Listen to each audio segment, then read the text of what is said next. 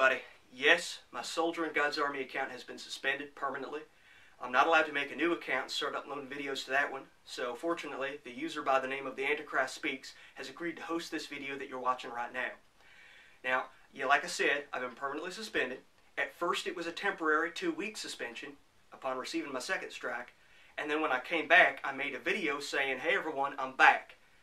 Unfortunately, it appears that people saw that they realized, hey, all I have to do is rack up one more strike for him and he's gone, and that's exactly what they did. They flagged the video in which I said I was back, and YouTube removed it and then suspended me. So what I did was, I sent email messages to YouTube. I sent a message to support at youtube.com and a message to editor at youtube.com. You should see them on the screen right now. Hopefully they'll also be in the video description area. I urge everyone to do the same email those, email any other email address that you know to contact YouTube. All right, I've been on this site for more than two years, since February of 2007. And from what I'm seeing, there's only one way that a suspended account ever has any chance at all of getting reinstated. And that is if a whole mess of people email YouTube. If that doesn't happen, there's no chance of that account ever getting reinstated. Okay? I have some videos. I have a video that I intended to make like two years ago and I just never got around to it. If I get reinstated in celebration, I think I'm just going to promptly make that video. All right, and I'll try to make videos with a little more frequency. So, you know, please just send emails. I'm sending emails. Hopefully, I'll get reinstated and you can see more content by me. All right?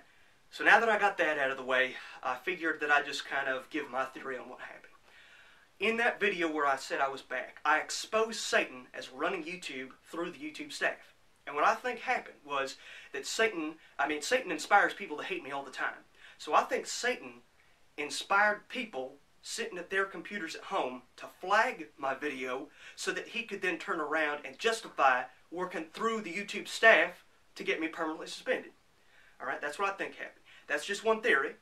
But regardless of whether Satan had anything to do with it, one thing is for sure, and that is people don't like what I have to say, and they are flagging my videos to get me removed. And right now, they've won. I'm gone. The only way to oppose them is to make your voices heard. Email, YouTube. That's the only chance to oppose these people. If you don't do that, they win and I'm gone for good.